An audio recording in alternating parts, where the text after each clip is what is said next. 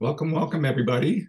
My name is Dave Peaty, and I'm the current board president of Publishing Professionals Network. Uh, we are really excited about uh, today's session. And um, uh, but before we start, I do want to uh, tell you about a couple of um, things that Publishing Professionals Network is going to be doing uh, coming up soon. Uh, so the uh, first thing I want to tell you is that every month on the third Thursday, roughly, we have an online Zoom um, meeting uh, for those folks uh, who can't meet in person. We're starting to meet in person once again uh, here locally in the Bay Area, and you can find out about those by being on our mailing list. Um, then the other thing that I wanted to say is, in addition to this professional development session, uh, we try to have them about once a month in August. We'll be having a session uh, having to do with uh, paper sourcing and sustainability in book manufacturing. Uh, and then the um, other thing that I wanted to tell you about is that uh, we just closed the submissions process for um, uh, the book show that happens in October. It'll be at Chronicle Books in San Francisco. Um, and we're very excited about that. And then the following April in 2024, we're going to have our annual uh, conference, uh, uh, all day conference Friday. I believe it's April 21st. I'll have to look it up, but you can look it up on our um, uh, uh, website, which is, we'll put a link to that in the chat.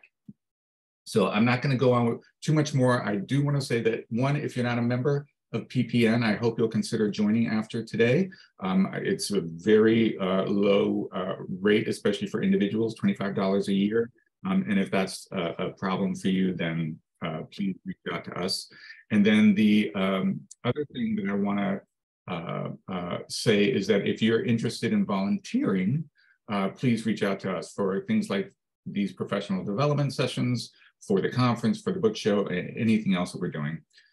The last thing I'm going to say is that we are uh, collaborating again this year with Bay Area Women in Publishing uh, for a picnic here in the East Bay. So those of you who are local to the Bay Area, go to our website and you'll see a link to sign up to be to participate in that. Um, and that'll be here in Berkeley on a Saturday, I believe. Anyway, that's it. I'm going to turn it over to fellow board member member Becky Morgan, who will introduce our speaker and get us going and talk about how we're going to be doing stuff today. Thank you all. Thanks, Dave, for uh, all the housekeeping. Um, I uh, am happy to introduce Kseniya Makarova, who I um, have been working with in a, in a, professional capacity for the past few years. Um, and I'm very impressed with her um, both her uh, design skills, which are unimpeachable, and also just her general um, um, sang-froid and uh, ability to really uh, roll with all the changes and uh, change of direction or um, um, extra requests that come in. And so I'm, I'm, I'm i think that she's going to really be a great resource here today. Um, so what we're going to be talking about is um, is designing uh, elements for both when the, when um, you need both a print and digital components. Um, many publishers have gone digital first, uh, by which they mean um, that you're intended to interact with them, their content primarily in a digital way, but there are always print elements, both um, print um, print main content in printed form for people who would like that in addition to or instead of digital content, and things like business cards, catalogs, um, uh, trade show handouts, things like that. Uh, so you want them all to look like they represent the same entity, which um, you know, which takes skill and care and design chops, all of which Kseniya has. So I'm going to turn it over to her. Uh, and I want to uh, let you know also that um, uh, we're going to um, have Q&A. Kseniya is going to speak for about 20 minutes, and then we're going to have Q&A at the end. Um, so please put your questions in the chat if you have them throughout her presentation. And then during the Q&A, you can either put your questions in the chat or you can raise your hand and we will call on you. Okay, take it away, Kseniya. Perfect. Thank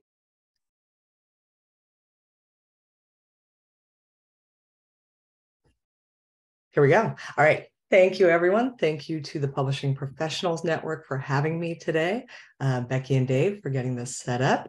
And thank you to all of our attendees. Uh, I'm really excited to be sharing with you today, and hopefully, I've got something helpful or at the very least interesting uh, within my slides here for you today.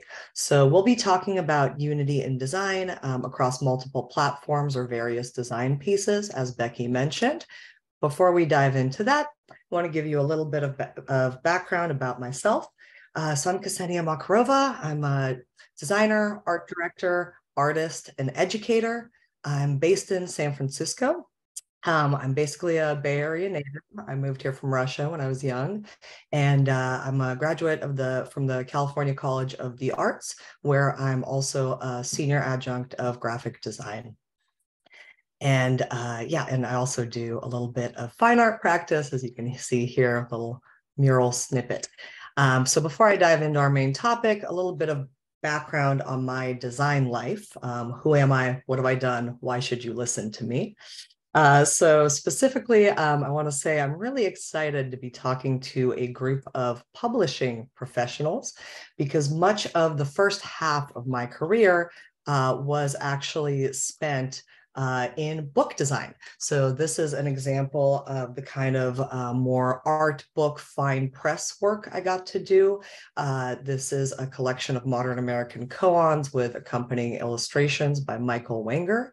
Um, and these kinds of projects really allowed me to hone my design eye from a typographic sense and also just took a great deal of precision um, and were just really uh, exuberant, um, great places to kind of start my design life.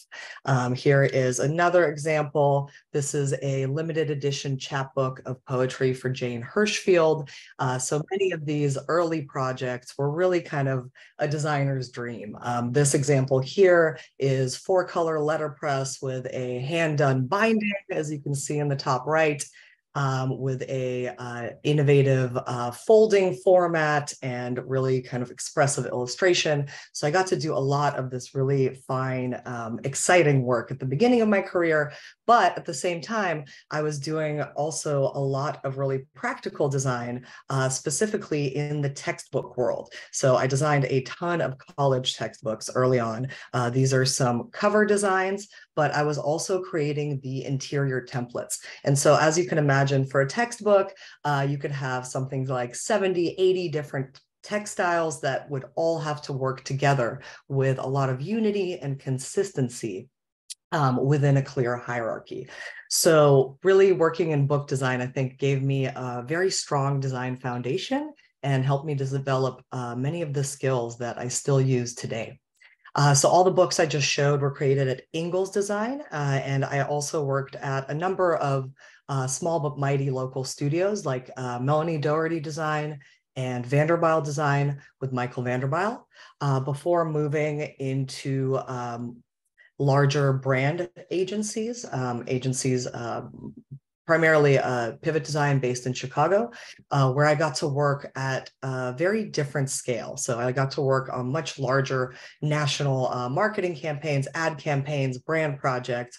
Like this example, this is a multi-million dollar uh, trade show pres presence for a pharmaceutical company called Baxalta, uh, which included upwards of 300 different pieces of design. And all of these had to work together. Uh, even though there was a large team of designers on this, we were all responsible for very many different pieces. And all of those had to work well within a system. So much of my background um, relates to what we're talking about today.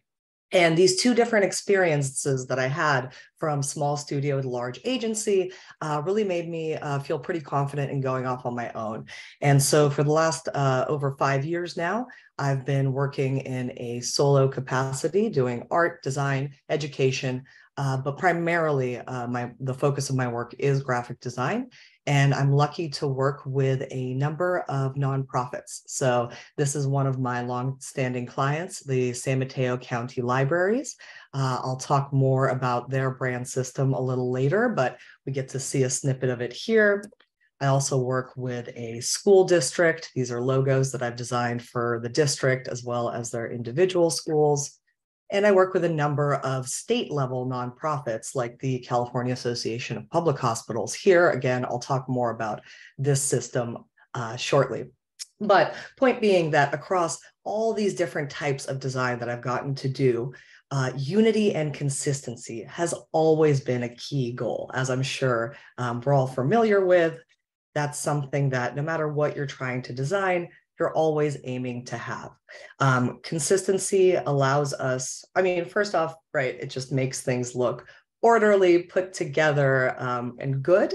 Uh, but beyond that, uh, unity and consistency uh, helps create uh, more memorability and recognition for your materials, right? So if a viewer sees two different pieces of your design in different contexts, if there's a lot of design unity between those two things, you're creating a much stronger memory chain in their mind and helping with brand recognition. Uh, from the designer's perspective, uh, consistency also just makes for a much smoother workflow.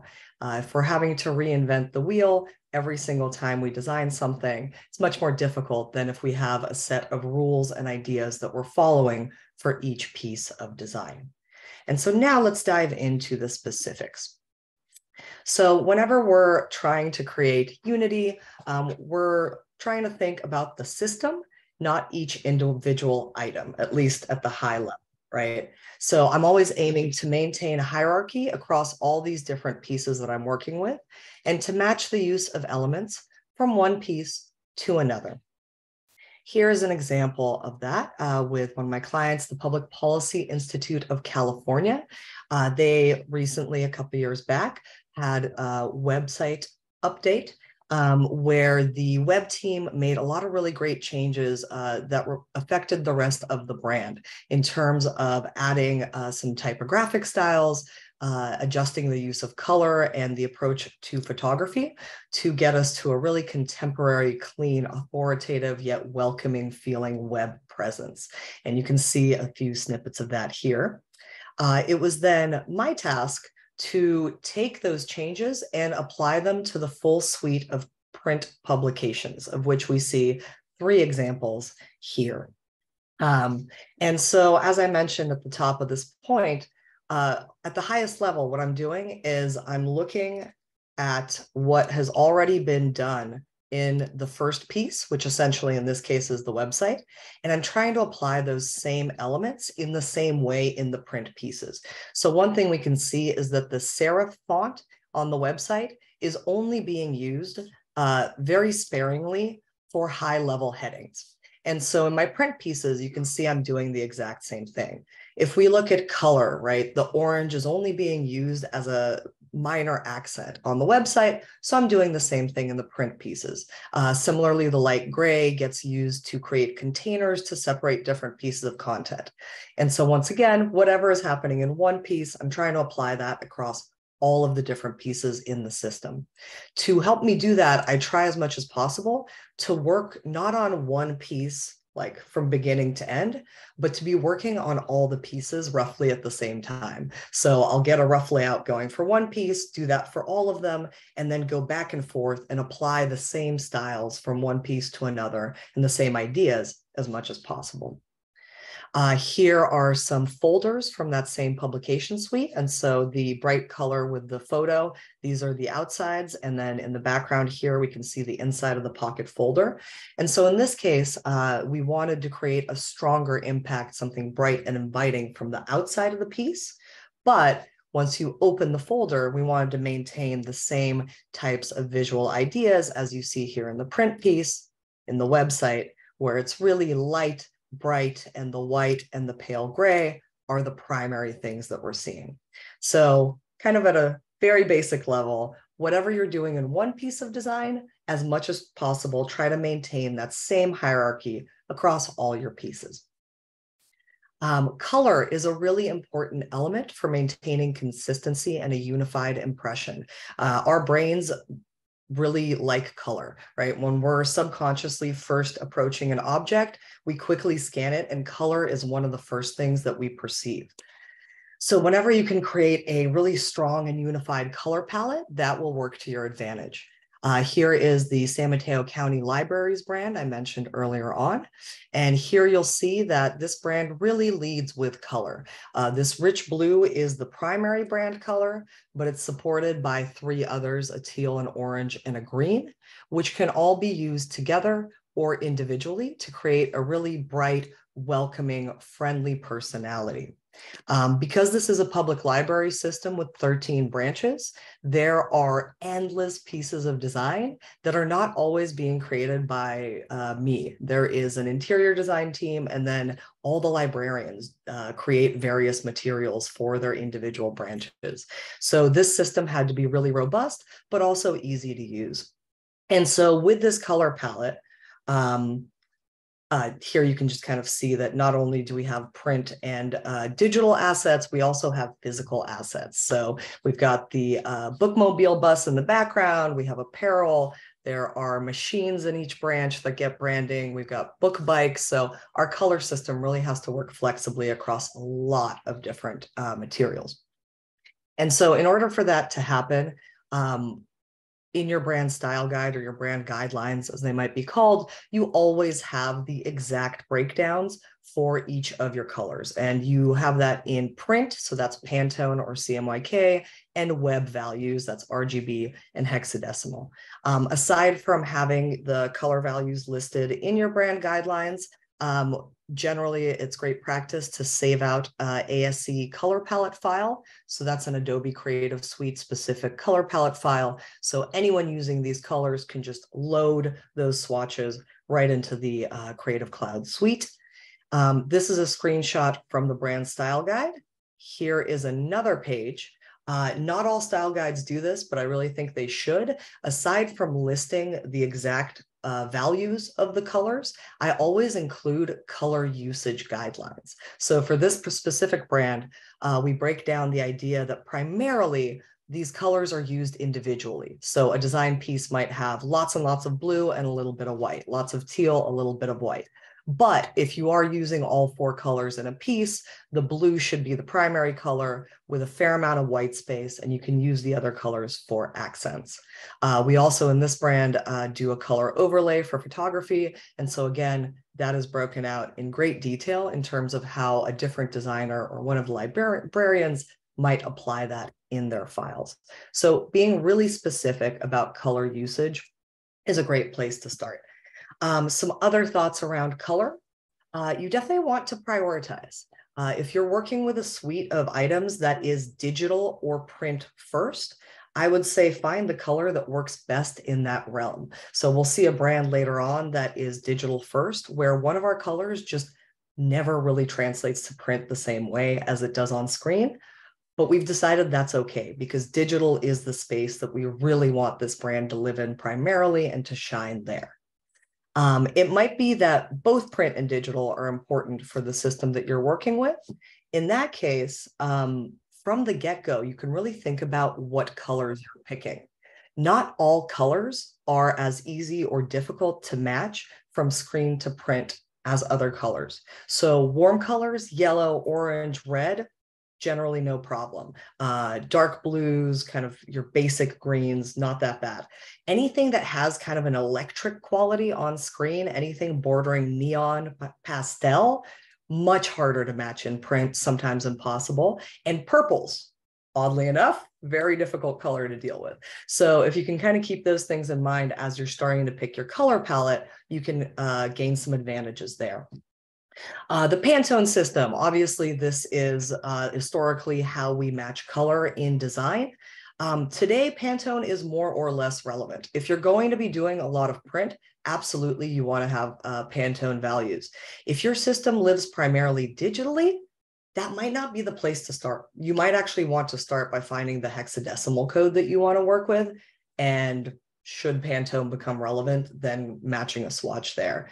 Um, at the bottom, I mentioned that part of the reason for this is because Pantone swatches are no longer natively built into Adobe Creative Cloud as of the last update.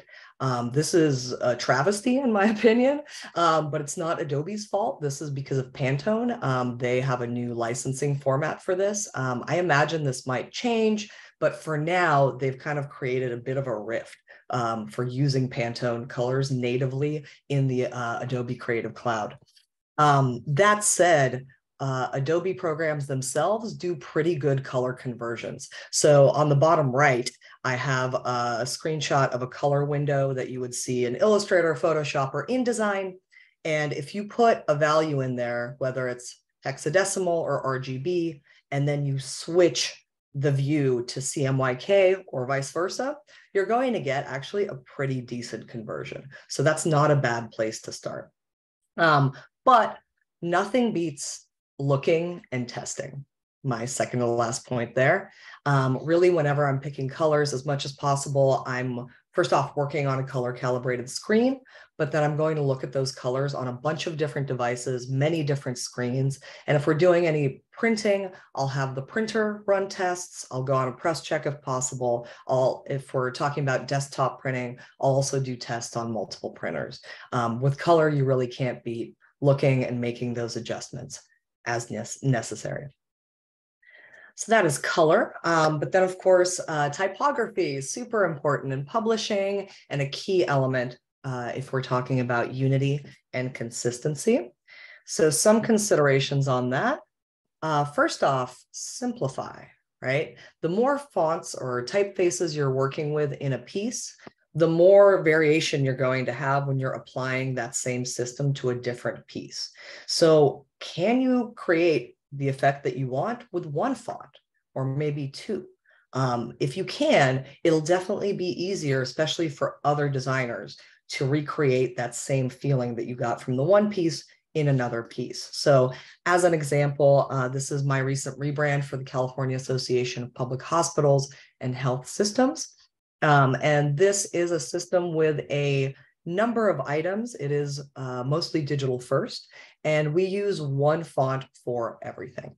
Uh, that font is a Google font called Raleway. and whether it's the web or print pieces, as we see here, um, I'm using this exact same typeface, but in different weights and with scale and color change to create hierarchy. Uh, here's a screenshot, a page from the brand guidelines where you can see that I've picked Raleway because it has a really nice variety of weights from the super bold to the light. We can get a lot of flexibility just by using this one typeface. And much like with color, I always like to include usage guidelines uh, in the brand style guides. Uh, I also like to do that for typography uh, with more or less detail. This is like the very basic level where uh, the brand guidelines just include one page that have a type hierarchy sample uh, where I'm showing like if we've got one big headline, we use really large shifts of scale uh, to make it stand out from the other content. Uh, other guidance, things like we only use small caps very sparingly for subheads. And then if we're using one of the lighter colors as an accent, we only use the light blue for accessibility reasons, uh, and we use it consistently for all the pieces in this system. So that's one idea for typography is simplifying. Um, another thing to think about is licensing. Um, I'll jump over to the websites uh, for both of these next points um, at the end. Uh, but basically, uh, most of us at this point are using Adobe fonts. Adobe fonts uh, work natively with the Adobe Creative Cloud. They're really easy to activate. There's a lot of different options. Now, if you have a web project, you can very easily um, use any Adobe font for your web project. The problem is if you do it through Adobe fonts, that website is now forever linked in that way with your Adobe uh, Creative Cloud account. So let's say my client needs a font applied to their website and I do it through my Creative Cloud account. If I ever cancel that account, the font goes away from the website. And that's pretty problematic, right? Um, similarly, Adobe Fonts has been known to break contracts with foundries where there used to be fonts there that no longer are. Um, and so the best thing to do if you have an Adobe font you want to use for a web project, uh, within Adobe fonts, I'll show you guys in a sec, you can um, find the foundry that made that font and you can buy a separate web license from them. And that is a much more consistent way to apply uh, that font to a web project. Um, but that said, I really like Google Fonts. For all of my nonprofit clients, I try to find Google Fonts that will work for them because they are free for all use, web and print, with easy to apply open licenses. And so finally, uh, my last thought is that in order to create consistency, obviously we're applying a lot of rules and trying to use a lot of elements in the same way. But I think it's also really important to embrace flexibility and really think about the context of each individual piece within a system. And so what we want to do is focus on creating a consistent impression rather than recreating the exact same relationship of elements in all materials. So going back to this uh, CAPH brand, um, it's actually two separate brands that have to work together. They have a sister agency called uh, the California Healthcare Safety Net Institute. Uh, and so both of these logos are anchored by a custom letter form. As you can see, the C and the S uh, made up of shapes that represent growth, connectivity, and openness. And I then used those same shapes to create two brand patterns, which we can see bottom right. Um, and so when we use the brand patterns in print, as you see in these business cards and in these print pieces, we show a lot of the pattern, right? There's a lot of detail going on, and that works well in print to create digital, uh, to create visual interest. But when we got into building the website, we found that using those patterns in the same way gets incredibly busy on screen. Um, all of those small negative spaces, all the white space in between all these shapes is really active and it's a little distracting from the primary content, the photography and the text. So for the website, I zoomed in on those same pieces and we use them as these larger supporting shapes. And so even though we're not using these elements in the exact same way, the overall impression is clearly that all of these pieces belong to the same entity. And furthermore, um, every year I do a conference theme for these brands.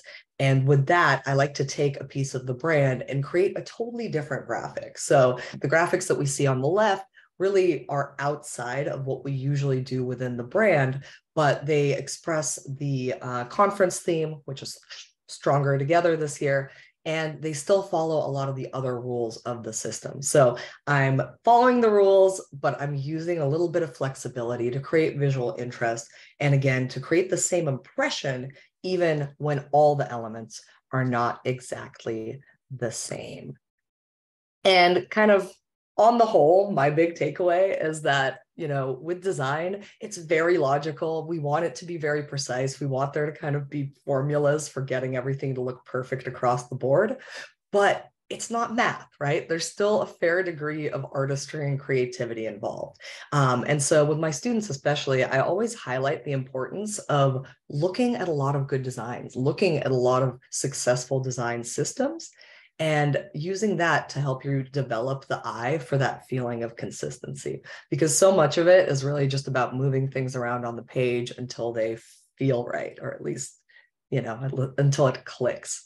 Um, so hopefully there were some helpful thoughts for you there. And uh, really quickly i just wanted to jump to the uh, adobe font site just so i could really quickly um, point out that idea around uh, font licensing.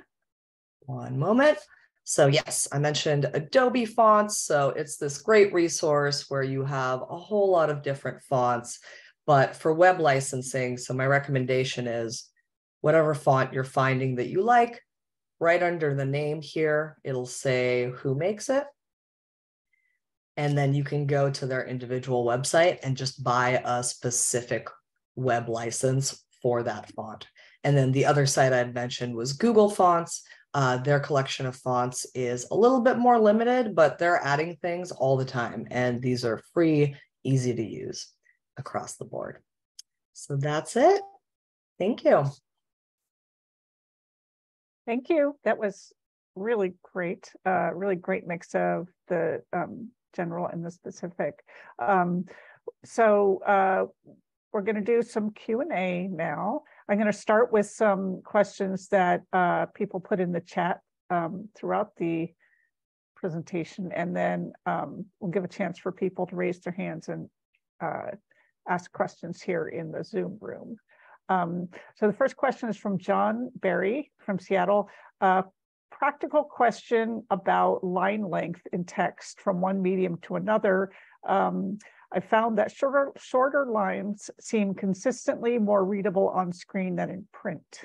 What do you think about line length? Yeah, I mean, I think that's fair. I, I think great point. Like line length in general is such an important consideration. Um, yes, generally on screen, especially if we're thinking about mobile, which is a really tight vertical format, shorter line length is better. Obviously, with web projects, mobile projects, sometimes you can control line length, sometimes you can't, right? And mostly you don't have as much control because people are going to be increasing, decreasing size on their end. Um, so just kind of accepting a lot more flexibility with it from web web and mobile projects. Um, but as a general rule, yes, I think that's a great point. Shorter line length for screen is great. Thank you. Uh, Kathy Felgar um, has a question about accessibility, um, specifically um, color. Uh, some readers have color vision limitations, such as difficulty discerning the difference between red and green or access accessibility in terms of how to recreate complex interior book designs in a reflowable pub. So how do you deal with people's accessibility um, issues? Yes, um, this is a whole other branch of design that I think is getting more and more attention, um, which is wonderful. Uh, InDesign has a pretty robust suite of accessibility controls. Um, so I have uh, organizations I work with where I actually am producing uh, fully accessibility compliant documents out of InDesign. Uh, that means things like adapting your document for screen reading.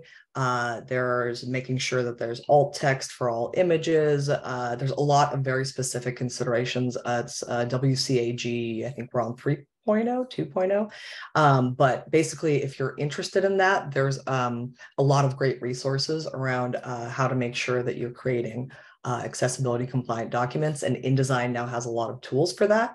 Uh, specifically for color, um, that's something I really rely on a lot of uh, web tools for. I literally just go to Google and go accessibility color checker.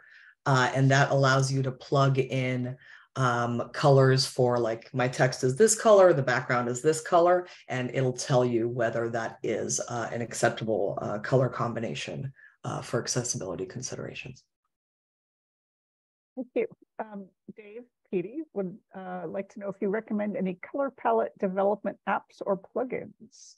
Oh, that's a great question. Um, there are a lot of resources available in that realm. Um, I, coming from fine art, I really love just messing with color, working with color on my own. Um, so I don't have a lot of those off the top of my head. I know Adobe actually has their own tool, um, Adobe Color.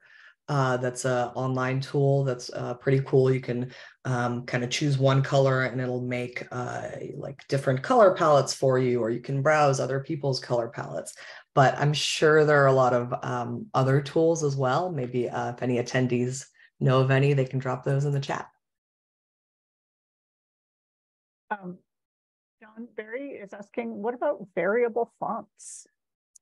Variable fonts, super cool. Um, I don't know if everyone's familiar with variable fonts, but it's basically a, a typeface where you um, install one typeface rather than multiple cuts of it. And then within your uh, programs you're working with those fonts in, you'll have sliders for adjusting things like lightness, weight, width, etc.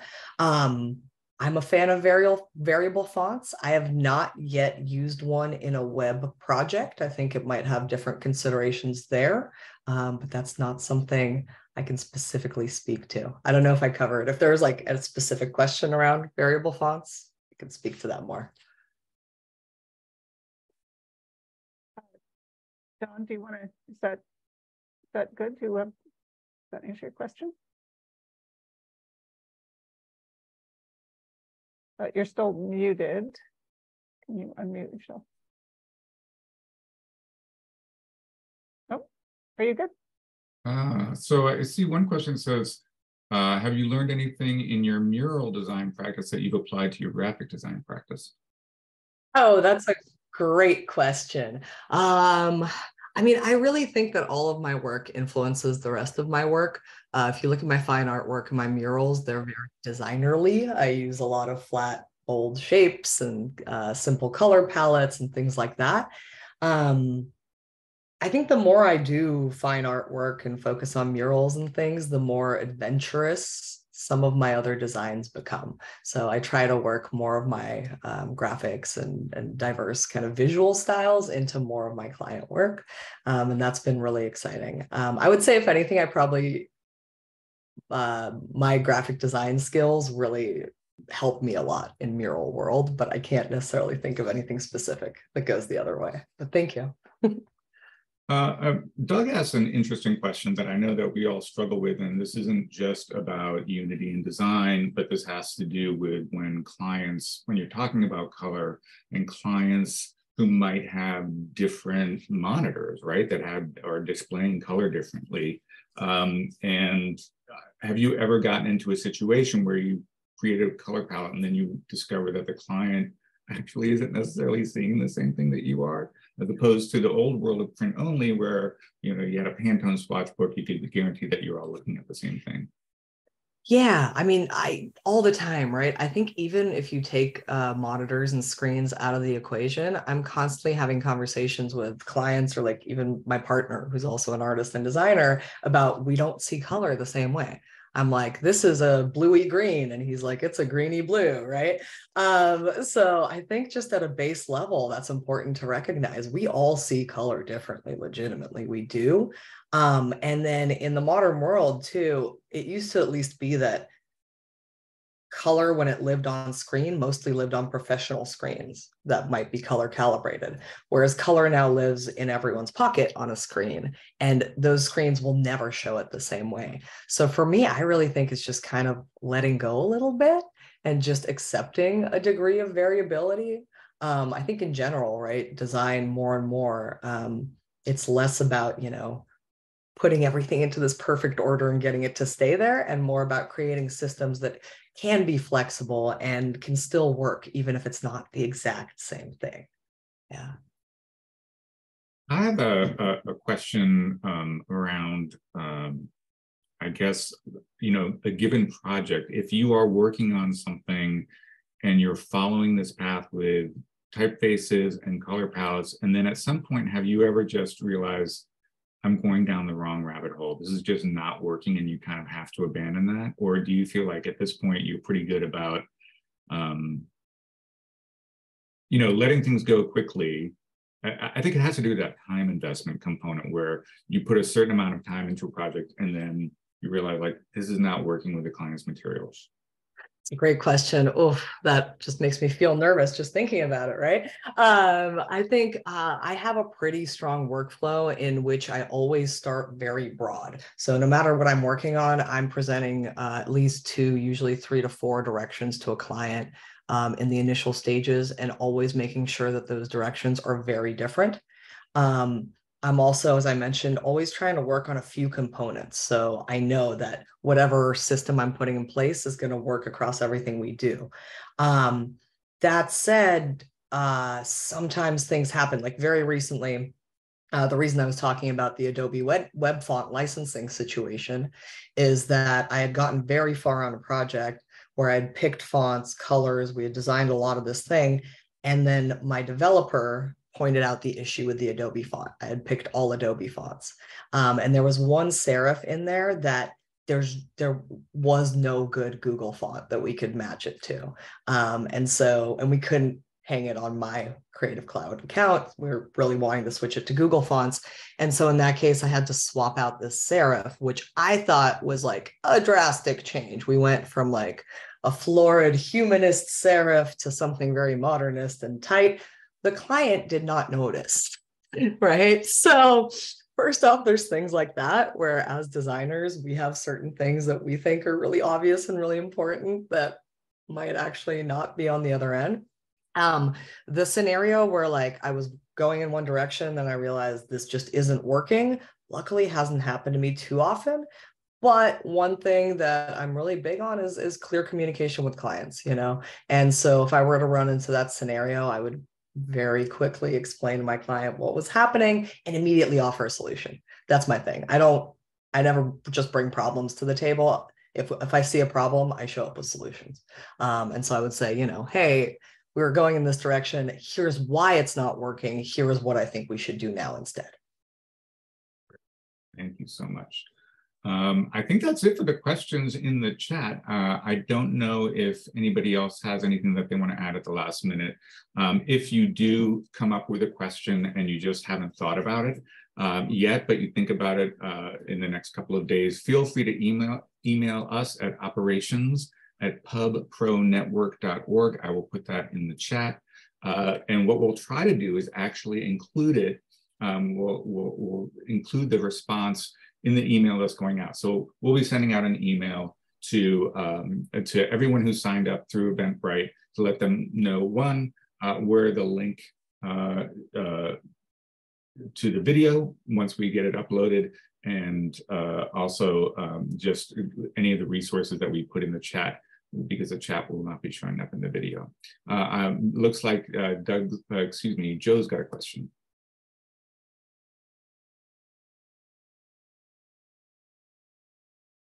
You are muted. There we go. I was, uh, they wouldn't let me unmute. I was reading that. Um, thank you for such a wonderful presentation. Uh, it was so so fascinating. My question early on, you were talking about the project where you know they did the online version and then it fell to you to convert that to print.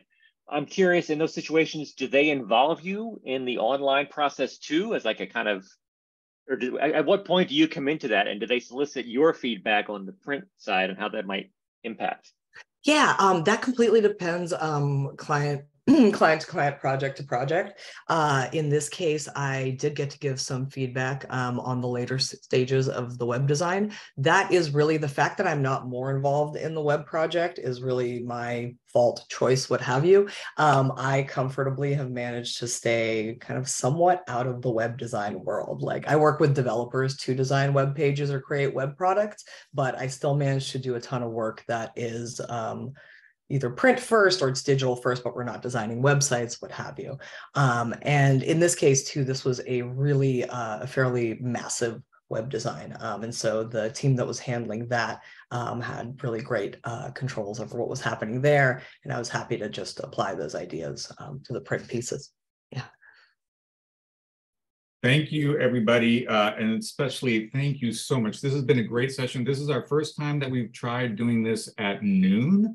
Um, it's kind of an experiment to see if more folks from the East Coast um, can join in present rather than just watching in a video if it's in the early evening or late evening on the East Coast. So um, if you um, like it, let us know because we'll try to do more of these. Thank you all for coming and um, thanks. I think this was an amazing session and so helpful. Thank you so, so much. Thank you all so much. It's been so fun. Bye-bye. Bye.